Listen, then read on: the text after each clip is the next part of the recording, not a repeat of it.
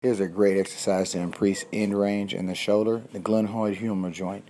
This is a great way to increase motor control and activate the rhomboids to help protect the scapula, which will increase power in overhead lifts and stability in the shoulders. Good luck and keep working to get better.